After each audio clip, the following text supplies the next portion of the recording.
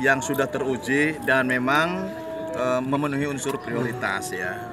Selain mendekatkan terhadap eh, alokasi subsidi kepada yang berhak menerimanya, juga memberikan dampak ekonomis kepada para penggunanya ya. Dan nelayan sebagai bagian dari masyarakat yang saat ini memang harus mendapatkan perhatian khusus dari peningkatan kesejahteraannya, tentu program ini sangat mendukung terhadap peningkatan kesejahteraan. Jadi selain mendukung terhadap good processing practices yang harus diterapkan di nelayan, karena nelayan ini kan penghasil industri pangan ya, ikan ini kan adalah pangan.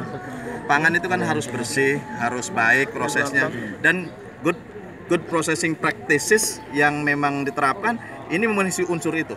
Nah, yang kedua tentu keekonomisan. Lebih ekonomis tadi testimoni dari masyarakat pun ini lebih untung, lebih memberikan eh, keuntungan karena bisa menekan ongkos operasional ongkosnya sebesar 50%. Tinggal nanti bagaimana memang mengawal supaya jangan sampai ada kelangkaan, ketersediaan dan lain sebagainya. Ini nanti akan dikawal oleh Pak J. Imor ya, sudah ada hadir di sini dan tentu kalau program pemerintahnya mengalokasikan ke sini akan mendapatkan perhatian khusus untuk itu. Saya sebagai anggota DPR mengaturkan terima kasih kepada Menteri SDM Pak Jonan, kepada Pak Sekjen Pak Ego dan seluruh di aparatur Kementerian SDM.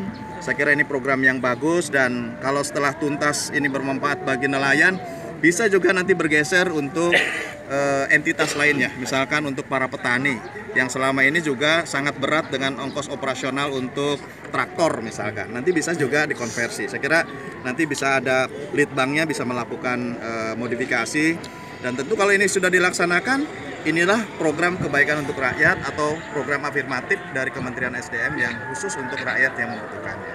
Oke, Pertanyaan Pak. terakhir mungkin. Ada? Ada? Terakhir? Dari Ini ada, Pak. anggarannya berapa